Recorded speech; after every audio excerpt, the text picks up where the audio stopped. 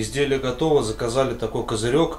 Его закрывать сверху не надо было, так как тут потом в дальнейшем планируют нарастить виноград, ну или еще что-то подобное. В общем-то, заценивайте. Всем спасибо за просмотр. Всем пока.